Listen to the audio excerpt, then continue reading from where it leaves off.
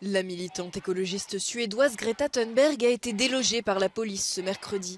Elle s'était enchaînée avec une dizaine d'autres manifestants aux portes du ministère des Finances norvégien à Oslo. Depuis plusieurs jours, des militants du peuple sami exigent le démantèlement de deux parcs éoliens.